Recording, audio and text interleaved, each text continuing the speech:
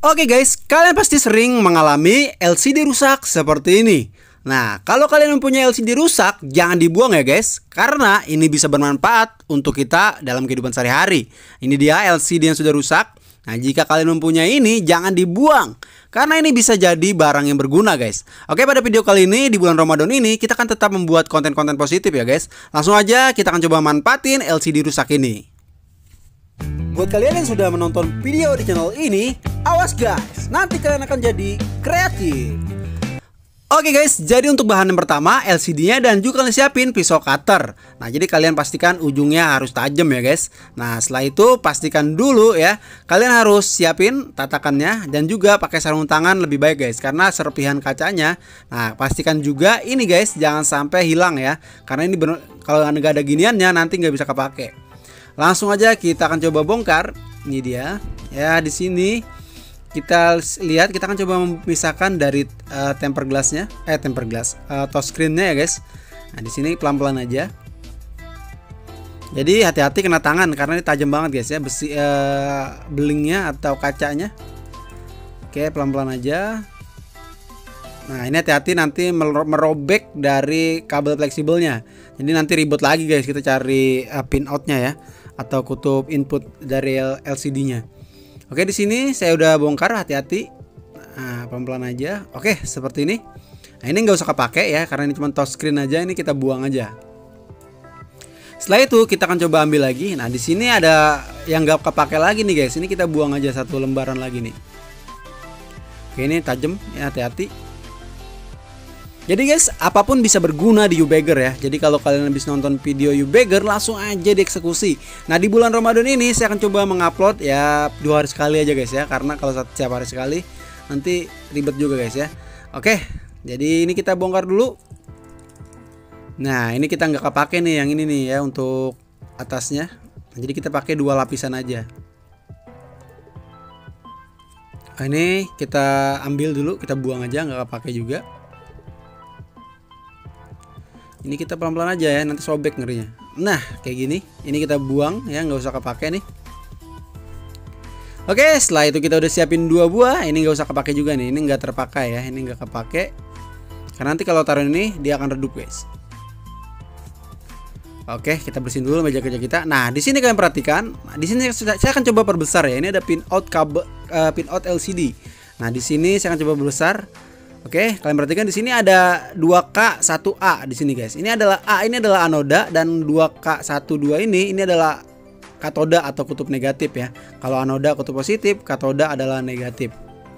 Oke, seperti ini. Anoda positif, katoda negatif ya guys. Di sini untuk anodanya A ya, tanda A ini kita pasang di kutub kaki kabel warna merah. Seperti ini. Nah, untuk katodanya kita pasang lagi untuk kutub negatifnya ya bebas. Satu dua ini bebas. Kalian mau pasang di mana terserah.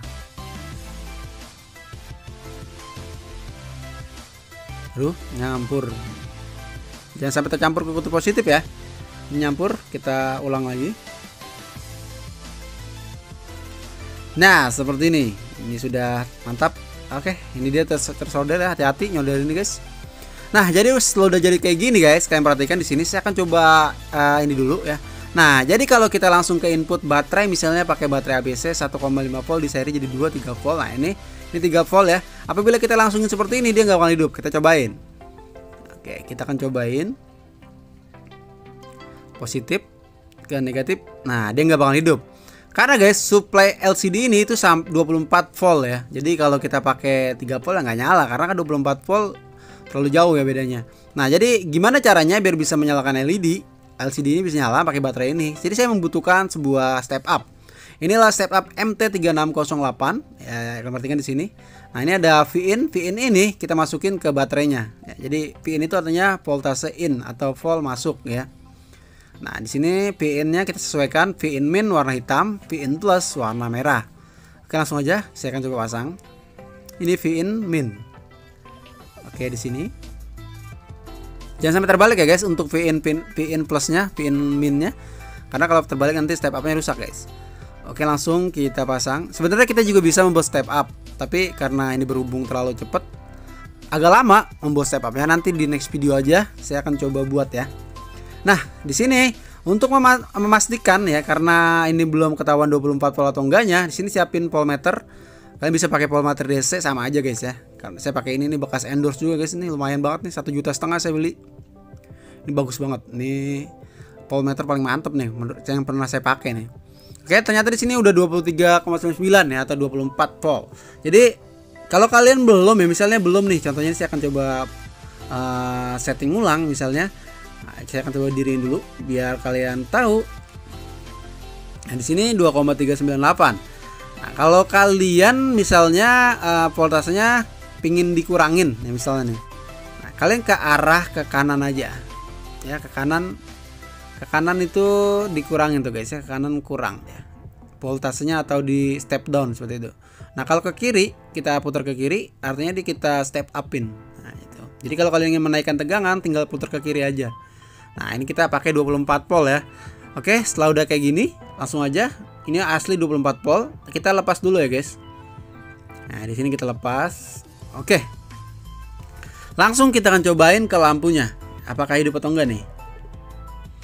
Oke, jadi ini bermanfaat nih ya. Oke, saya juga nggak tahu nih hidup atau enggak nih. Oke, biasanya sih kalau udah voltasenya pas, LED-nya hidup biasanya LCD itu rusak touchscreennya guys atau pecah atau garis sebenarnya black lightnya itu masih tetap hidup ya Nah ternyata dia hidup guys ya. Kita kasih tegangan A24 volt dia langsung hidup. Ini terang banget guys ya.